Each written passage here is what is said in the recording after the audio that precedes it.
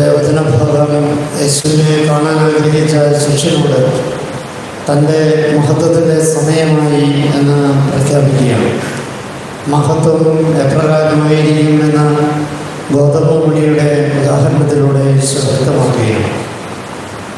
കൊയ്തെടുക്കപ്പെട്ട ഗോതമ്പുമണിക്ക് പല സാധ്യതകളുണ്ട്. ഒന്നാമതായിട്ട് അതിന് ആ അറപ്പലയിൽ തന്നെ ആയിരിക്കാം. ഏറെ കാലത്തിന് ശേഷം അത് പൂത്തോ അല്ലെങ്കിൽ മറ്റേതെങ്കിലും വിധത്തിലോ ഒക്കെ ഗ്രഹിച്ച് നശിച്ച് പോകാം. രണ്ടാമത്തെ സാധ്യത അറപ്പരകളിൽ നിന്ന് അത് മണ്ണിലേക്ക് എറിയപ്പെടുക എന്നുള്ളതാണ്. മണ്ണിലേക്ക് എറിയപ്പെട്ടു കഴിഞ്ഞാൽ വീണ്ടും രണ്ട് സാധ്യതകളുണ്ട്.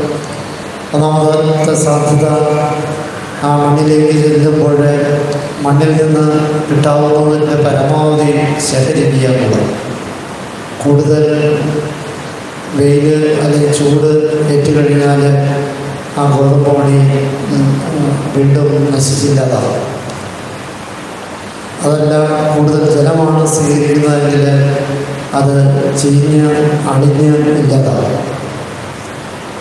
മറ്റൊരു സാധ്യത ആവശ്യത്തിന് മാത്രം സ്വീകരിച്ച് മുന്നോട്ട് പോകുക എന്നുള്ളതാണ് ആവശ്യത്തിനുള്ള ചൂടും ആവശ്യത്തിനുള്ള ജല ജലവും മാത്രം ശേഖരിച്ചു കഴിഞ്ഞാൽ അത് മുളയ്ക്കാൻ നമ്മുടെ ഓരോരുത്തരുടെയും ജീവിതം ഈ ലോകത്തിൽ പ്രകാരമാണ് അറപ്പുരകളിൽ ഇരുന്ന് പഴകി ദ്രവിച്ച് ഇല്ലാതാകും.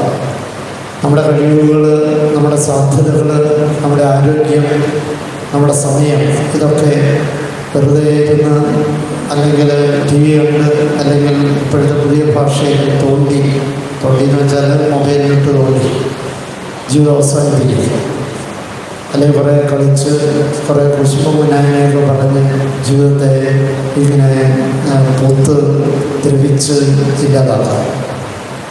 രണ്ടാമത്തെ സാധ്യത കിട്ടാവുന്നതിന്റെ പരമാവധി തീറ്റയും അല്ലെങ്കിൽ സമ്പത്തും അതുമല്ലെങ്കിൽ സൗന്ദര്യവർദ്ധന വസ്തുക്കളും അങ്ങനെ എന്ത് എന്തൊക്കെ കിട്ടാവുമോ അതെല്ലാം ശേഖരിച്ച് ഒരു പക്ഷേ ചീഞ്ഞ് അളിഞ്ഞ് ഇല്ലാതാവാം ചെറുത്ത് വീർത്ത് ഇല്ലാതാവാം സാധ്യതയില്ല ആവശ്യത്തിന് മാത്രം ഈ ഭൂമിയിൽ നിന്ന് സ്വീകരിക്കാൻ തയ്യാറാകുമ്പോൾ ദൈവോന്മുഖമായി ഉണരാൻ